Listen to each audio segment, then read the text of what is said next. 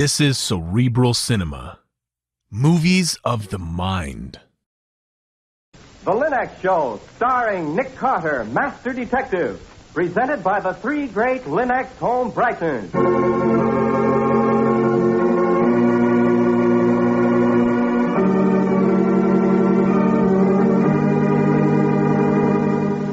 This is the story of a man known the world over as one of the most daring and resourceful characters in the history of detective fiction. A man whose name has become a symbol of the triumph of right and justice over the sinister forces of crime and lawlessness.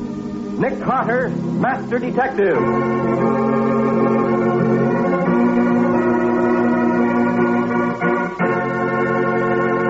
Today's exciting case, The Talking Tree. Another exciting chapter dramatized from the life story of Nick Carter.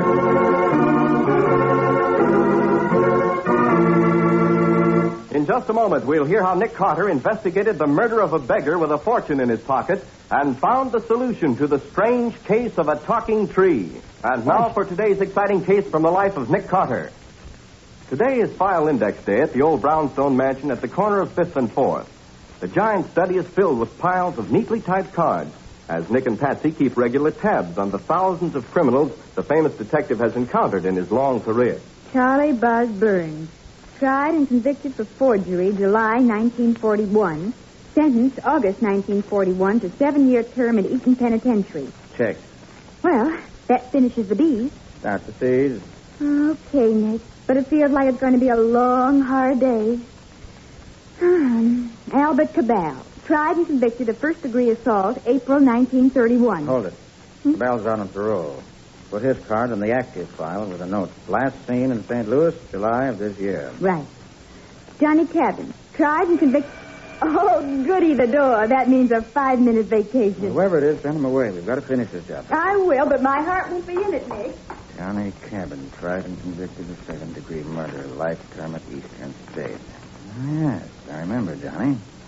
He was the one who swore no private detective would ever dare to take him. And he was wrong, like the rest of them. No more work for today, Nick. We've got a customer. Oh, now, Patsy, This I... is an old friend of mine, Nick, Mr. Peter Simpson. He takes me riding twice a day. Takes you riding twice... Oh, I see. Streetcar conductor. Yes, sir, Mr. Carter. Miss Bowen takes my car every morning and every night. It's across town. Passes right behind his house. Mr. Simpson's got a problem. One of his customers won't get off the trolley. How's that? Well, it's the end of my run behind your house, sir. I left the trolley there and run up to see you.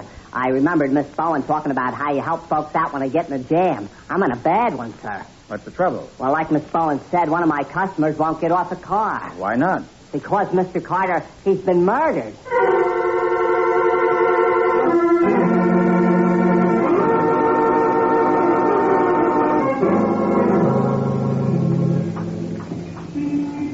My trolley car here, Mr. Carter. I closed the doors and left everything.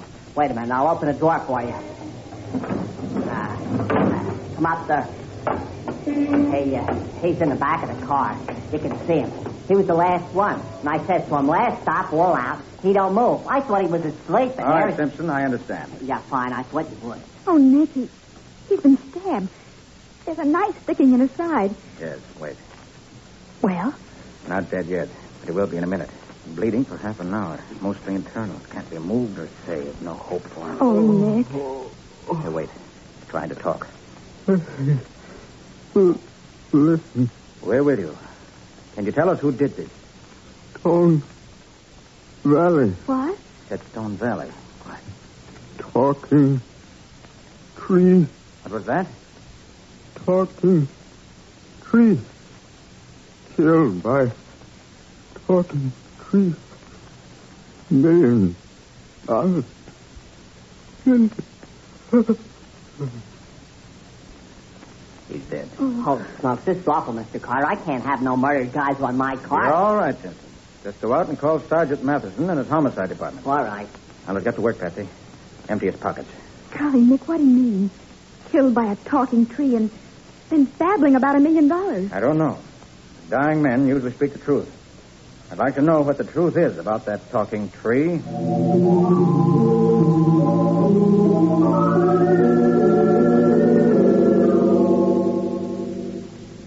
Well, nothing worthwhile in any of his pockets, Patsy. They're torn and empty. No handkerchief, no wallet, 27 cents in change, total assets. Oh. So where do we stand? Exactly nowhere. What do you mean? No identification of any kind in this man, Patsy. Nothing to tell us who he is or why he was killed. Well, what about the murder weapon? That knife. Just an ordinary kitchen knife. No prints on the handle. Golly. Killer probably sat beside him, drove the knife into his side, got up and left the trolley. That's all. Look at him. Clothes shabby and torn. Very obviously a tramp. But who'd want to kill a tramp? And for what? I don't know yet. Perhaps. Wait a minute. Hmm? Ah, here's something I overlooked. Seems to be a hard lump in the front corner of the jacket. Probably slipped down from the torn pocket. Here, wait a minute. What is it, Nick? Answer to your question. Look, It it looks like a big lump of crystal. happens to be an opal. Opal? You mean that rough piece of peculiar-looking stone is a jewel opal? Uncut and unpolished. Must weigh about 30 carats. Ooh. Worth quite a bit of money. Let's see, this may be the answer to why our victim was killed. Still, it doesn't answer the question of how it came into his possession, or explain his dying speech about talking trees. What do we do now? Leave the body for Sergeant Matheson and our friends at the homicide department.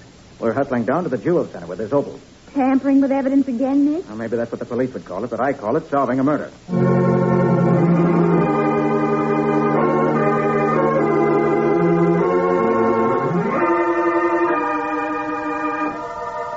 Patsy, I'm going to give you a lesson in the art of jewels.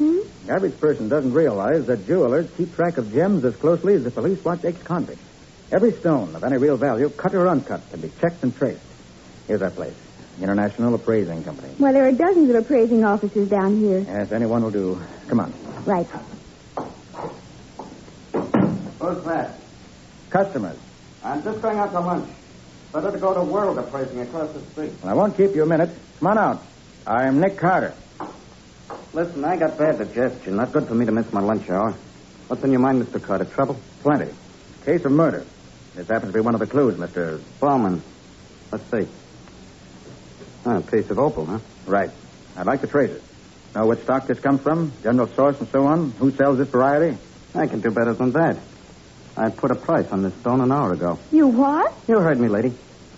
This stone was brought into me an hour ago for appraisal. I gave them the price and they left. They? How many? Two men. Little guy, looked like a tramp. And the other? Nice looking. Kind of professional looking. Doctor, maybe. Looked like the tramp was trying to sell the stone to the other. Called him Professor.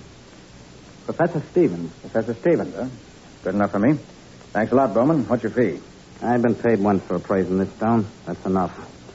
Now go away. I got my digestion to worry about. Thanks. Come on, Patsy. Let's find a university catalog. Maybe we can locate this Professor Stevens and find out about the talking tree.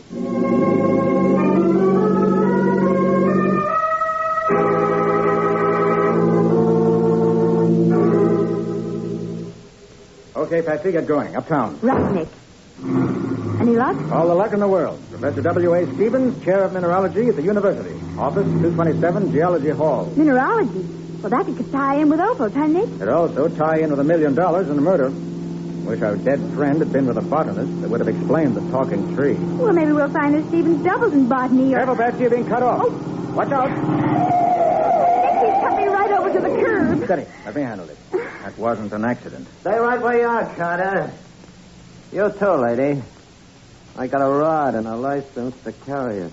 Well, hello, Coffin. Patsy, meet Dubsy Coffin. When we get back to our file cards, you'll meet him in the C's. Can the double talk routine, Carter. Now, look, I don't want no trouble from you. Keep the opal if you want. Just give me the map. What, map? This is a friendly talk, see? I ain't getting rough because I always like to speak my piece first. We're listening very carefully, Dubsy. Sammy the bum was my pal. So he gets knocked off in a trolley car, so okay. You want to catch the killer? Good luck. But being Sammy was my pal, I'm his inheritor. Get it? I want the map, Carter. The map you took off Sammy. We didn't. Hold it, Patsy. How much is the map worth to you, Dubsy? You ought to know. If you don't, it won't do you no good. We don't know. But we can guess. A million dollars? Not that much. But it's worth a big piece of change. To me, not to you.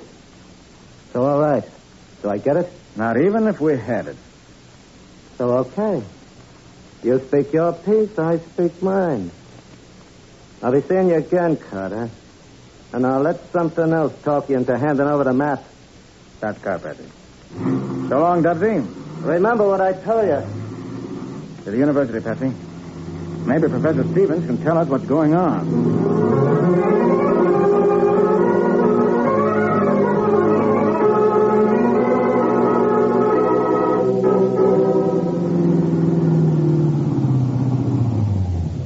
This is it, Nick. Let's go. Golly, I'm awfully mixed up in this case, Nick. Well, it isn't simple. The man we found in the trolley was Sammy the bum. That's what Dubsy Coffin indicated. Right in here. Mm-hmm. Well, from the way Coffin talked, it didn't sound as though he killed him. Could simply be talk. I suppose it could. But he mentioned the map. Do you think Sammy was killed for that? Very possible. Up these stairs. Uh-huh. Well, evidently there's a map tied up with the opal Sammy was carrying. Yes, but it's my belief the opal's just a side issue. Coffin didn't seem to care about that. And Sammy tried to sell it to Professor Stevens. Then what? Here what? are. Professor Stevens' office. Oh. Hmm. Maybe he's got a class. Could be. Let's go in and wait. Nick! We have to wait a long time to speak to Professor Stevens, Patsy. He's been murdered.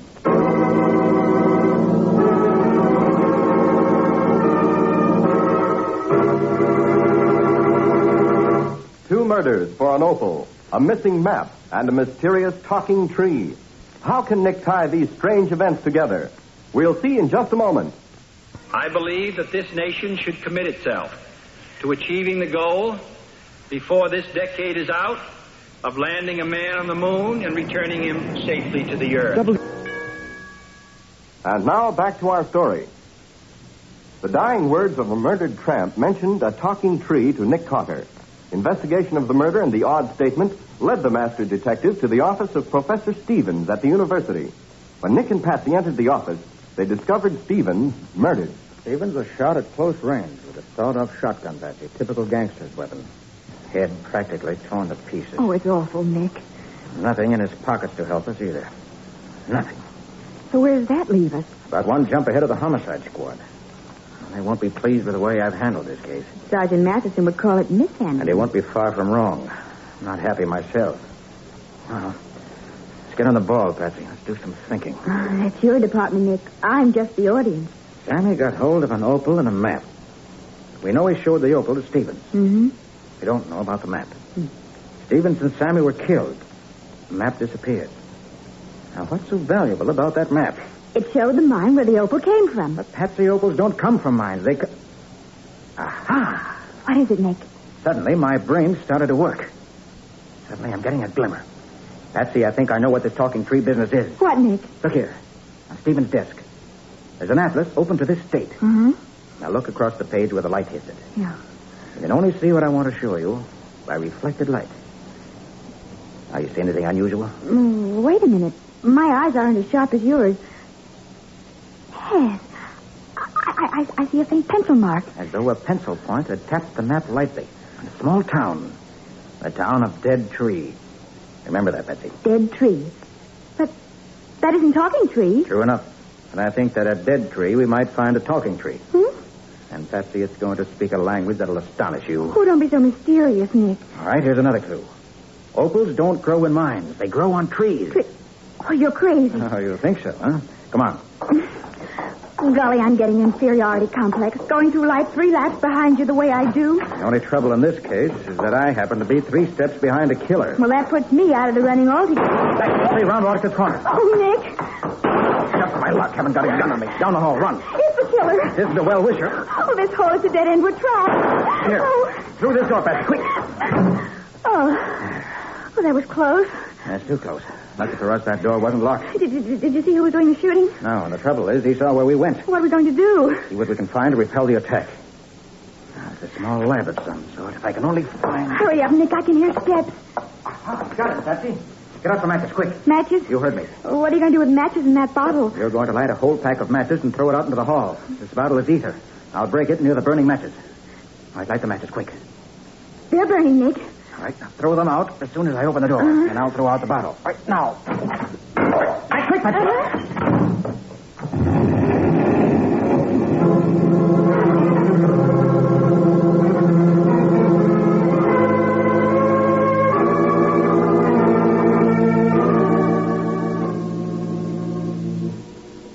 All right, Patsy, all clear now.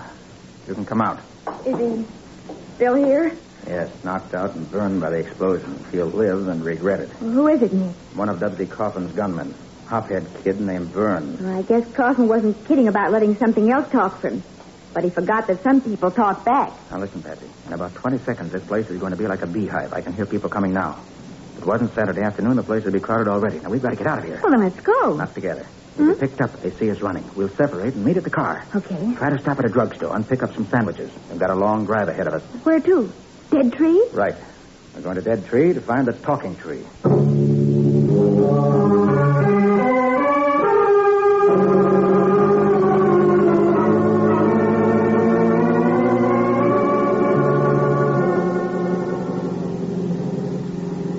Mmm. Another sandwich, Nick? No, thanks. You can finish them. Oh, I've eaten too many already. And I'm supposed to be on a diet. They weren't the best sandwiches I ever had either. I feel as if I were getting Bowman's indigestion. Oh. How much further is it, Nick? It's getting dark. It should be in Dead Tree any minute. We've passed six signs in the last six miles. Each one said Dead Tree half a mile. Well, at least we're holding our own. They should have added a prox. I think we're approx there now.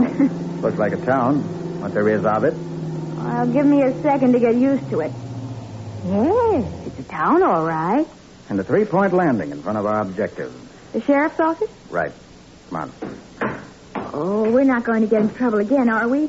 I've got visions of Sergeant Matheson waiting for us back in town. He'll greet us with comparatively open arms if we bring him home a solution. Now, let's go in. Okay. Yeah? Is this the sheriff? Uh... Denson. Yeah? Well, my name's Nick Carter. Yeah? Sheriff Denson, I'd like to ask you a few questions. Yeah? I assume that means go ahead and ask. Yeah?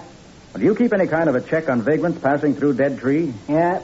Do you recall whether a tramp answering to the name of Sammy the Bum passed through here last week? Yeah? How long was he in this section? Don't know. Maybe a couple of days. Golly, he can say something else, can't he? Please, Patsy. I can talk, young lady, when there's something worth wasting breath over.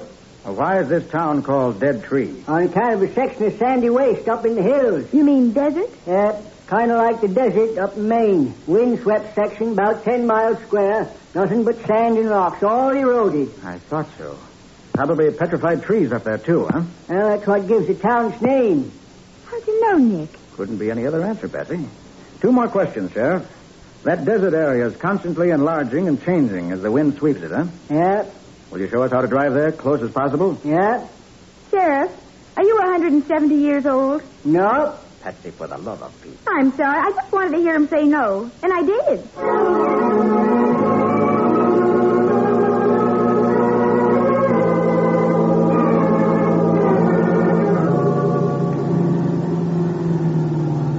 Afraid we can't drive any further, Patsy.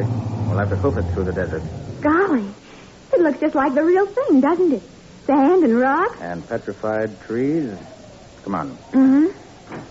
We'll have to keep pretty quiet now. This sand will deaden our footsteps, fortunately. Because there's a strong chance the killer may be up here ahead of us. Oh, do you know where to look for him, Nick? I do. We'll find him under the talking tree. Oh, Nick. I'm not fooling. Well, all right if you say so. But where'll we find the talking tree? I'm not sure. We'll have to listen for it. Listen through ten square miles? We won't have to cover that much.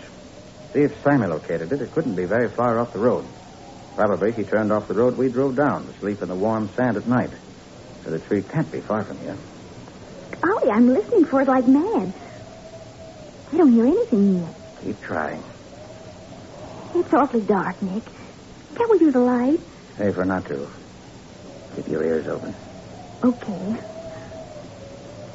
Golly, those twisty black tree stumps, they look so spooky. Just petrified trees, Patsy. Dead thousands of years. They can't hurt you. Well, I wish they'd talk to me and get this over. Maybe they will. Keep listening. Nick, Yes, I I think I hear a funny noise. Like water running. not here in this desert. No, not water. It sounds like. like music. Hmm? Listen. Yes. I hear it, Patsy. That's what we've been searching for. The talking tree? That's the way those trees talk. Oh, coming from around that small hummock. Oh, come on, let's go interview it. Hmm. Careful now. Very careful now. I think I hear someone digging or something. The killer. Here? Told you we'd find him under the talking tree. Quiet. And watch. What's he digging up petrified tree for? Let's go down and ask him. Oh, Nick, be careful. You haven't got a gun. I've got something that'll take its place. Good evening. Can I help you? Carter. What? It's the man from the appraisers, Bowman. Find me, Carter. Don't move. You're coming. Aye, my. Such rough talk must be difficult for a man of your culture, Mr. Bowman. Or should I call you by your real name, Professor Stevens? Nick! All right, Carter, you're asking for this. Hey, look out, Nick! Here you are, Bowman. Oh. oh. Professor is a rank amateur when it comes to handling a gun. oh, nice going, Nick. How'd you do it? Merely threw a handful of sand in his eyes, and when he was blinded, hit him. That's all. That's all. Well, that's enough. Now you have his gun and he's out cold. And he's also on his way to the electric chair. Nick, do you mean to tell me Professor Stevens murdered Sammy the Bum? Yes, Patsy. And then pretended he was killed himself. Uh, and he did all that for the sake of a dead tree? Well, take my flashlight, Patsy, and look at that dead tree. Golly. It's all crystal and glittery and. Oh, it's like a tree of jewels. Pure opal, Patsy. An opal tree worth a fortune. Too bad we don't hang killers in this state. It'd be an excellent place to hang Professor Stevens.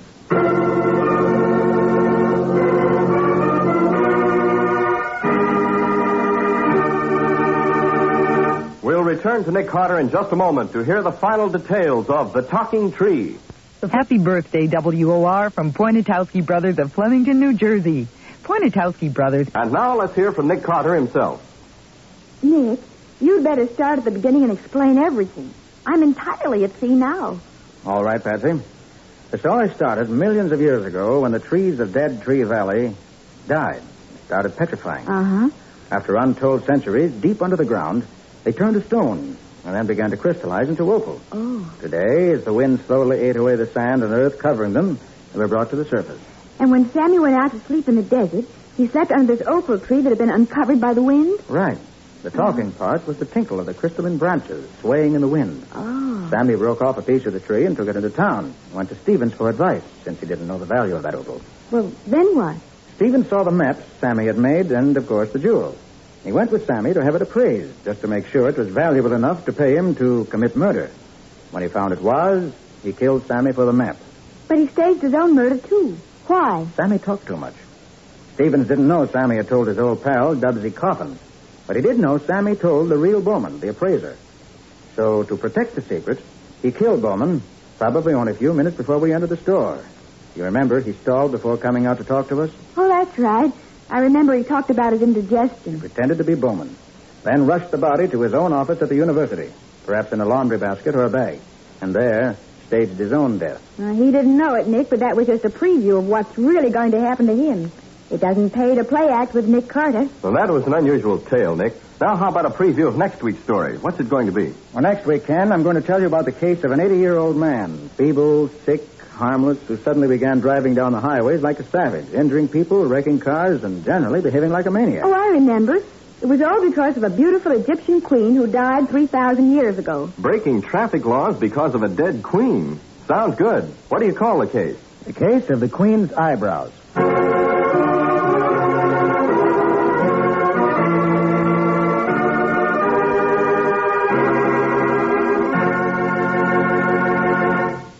Cerebral Cinema hopes you have enjoyed this movie of the mind.